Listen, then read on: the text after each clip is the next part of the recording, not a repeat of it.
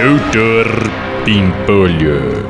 Ô, Slade, já tem umas duas semanas que eu tô reparando que sempre nessa hora no escritório fica com esse cheirinho de bolo. De onde é que tá vindo isso, hein? Ah, doutor Bempolho, é que abriu aqui na rua de trás uma casa de bolos. Aí esse horário deve ser quando eles tiram os bolos do forno e bate esse cheiro aqui. Hum, bom esse cheiro, né?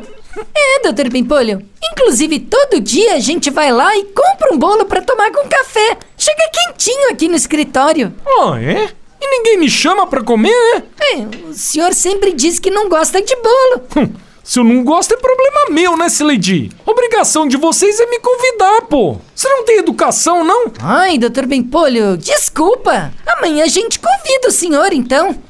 No dia seguinte.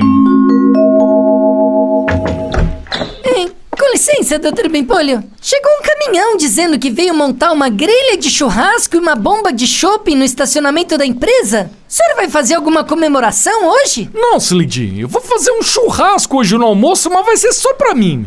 Nenhum funcionário tá convidado. Nossa! É, meu. E eu também aproveitei e comprei o imóvel da casa de bolas e mandei fechar, meu.